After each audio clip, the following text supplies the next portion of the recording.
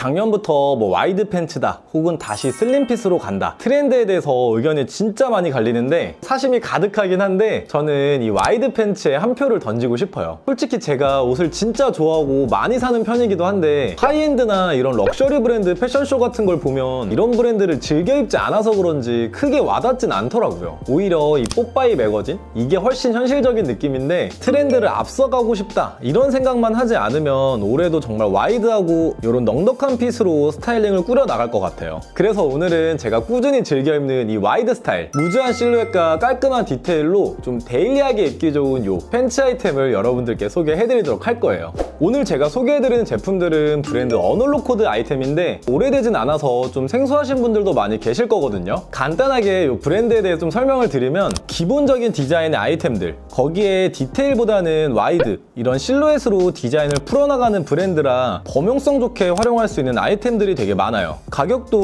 바지 기준으로는 4만원대에서 한 6, 7만원대로 되어 있어서 가성비 부분에서도 쉽게 접근할 수 있게 전개해나가는 그런 브랜드라고 보시면 좋을 것 같고요. 오늘은 이렇게 세 가지 아이템을 보여드릴 거예요. 되게 basic하고 기본적인 아이템이다 보니까 가볍게 제품 디테일을 보여드리고 fit 잡는 방법이나 코디 위주로 조금 더 자세하게 보여드릴 거고요. 바로 첫 번째는 이 belted 슬랙스 아이템이에요. 가격은 세일 중으로 48,300원에 판매를 하고 있고요. 컬러는 charcoal이랑 모카 이렇게 두 컬러가 나와요. 어느 정도 탄탄한 밀도감의 원단이라 추위를 많이 타시는 분들이 아니라면 봄, 가을, 겨울 한 3계절 정도 활용할 수 있는 두께고요. 밀도감에 비해 자연스럽게 흘러내리면서 신발을 덮는 loose한 기장까지 핏이 진짜 깔끔하게 떨어지더라고요. 요즘에 많이 착용하는 코디인데 스웨이드류의 이런 신발이랑 매치해서 바지에 풍성한 fit을 살려주는 느낌으로 연출하면 wide fit 이런 포인트를 살리면서 코디할 수가 있어서 저도 이렇게 매치하는 걸 되게 좋아해요.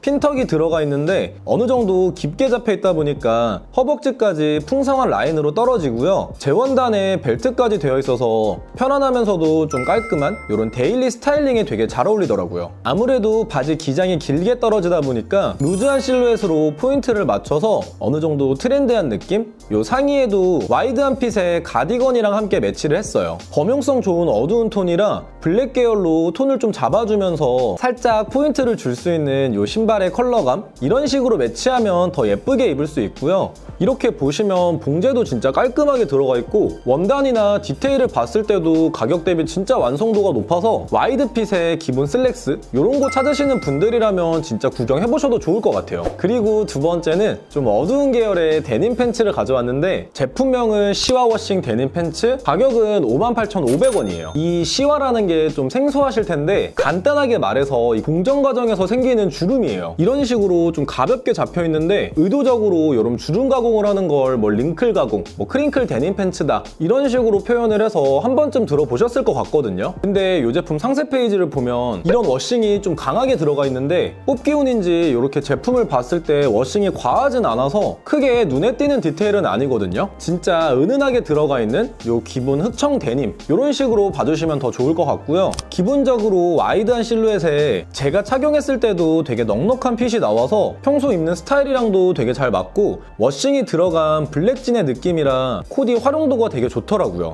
중량감이 있어서 fit도 무겁게 떨어지다 보니까 바지 라인을 어느 정도 지켜주는 분위기로 신발도 너무 과하지 않게 클락스 모델 을 함께 매치했고요. 자세히 보면 wrinkle 포인트가 있긴 한데 착용했을 때도 아주 빡세게 보이진 않거든요. 기본 아이템의 느낌이라 바지랑 loose한 실루엣을 맞추는 느낌으로 같은 브랜드의 오버핏 코트랑 함께 매치했어요. 워낙 무난한 바지라 상의에 이런 식으로 패턴이 좀 들어가거나 컬러가 가미된 포인트 아이템을 매치하기도 좋고요. 여기에 톤은 좀 눌러주면서 조금 더 센스 있는 분위기를 연출할 수 있게 big size cross bag을 매치해서 조금 더 위트 있고 재밌는 분위기로 연출을 해봤어요. 세 번째 아이템은 반대로 좀 밝은 cream jean을 준비했는데 제품명은 half banding wide cream jean. 가격은 55,000원인데 이게 무신사에서 인기가 엄청 많거든요. 후기를 보면 2,300개가 넘을 정도라 구매한 사람의 반 정도가 후기를 적는다고 하면 한 5,000장 정도 팔리지 않았을까. 디테일을 보면 진짜 기본적인 wide fit의 크림진이에요. fit이 딱 대중적인 느낌의 wide fit이라 방금 전에 보여드린 이 시와 데님보다는 hip line이나 넉넉한 정도가 살짝 작게 나와 나왔거든요. 거기에 이 허리 부분이 side banding이라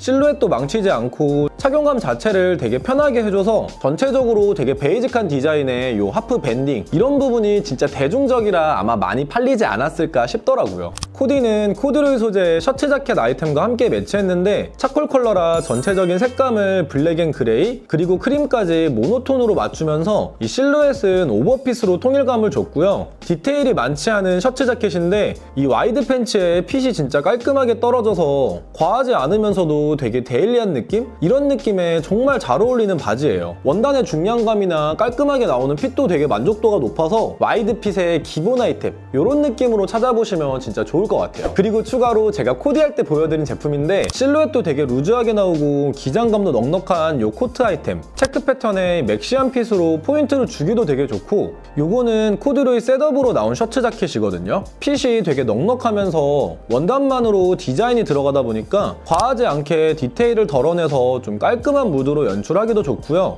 그리고 이 니트웨어는 제가 평소 스타일대로 입기에는 살짝 작은 느낌이 있어서 오늘 코디할 땐 착용하진 않았는데 가성비도 괜찮고 짱짱한 니트웨어라 미니멀 룩이나 체형이 왜소하신 분들이 착용하면 되게 예쁘게 착용하실 수 있을 것 같더라고요. 영상 보시면서 마음에 드셨다면 다른 아이템들도 한번 구경해보셔도 좋을 것 같고요. 그러면 저는 다음에 조금 더 유익하고 재밌는 컨텐츠로 돌아오도록 하겠습니다.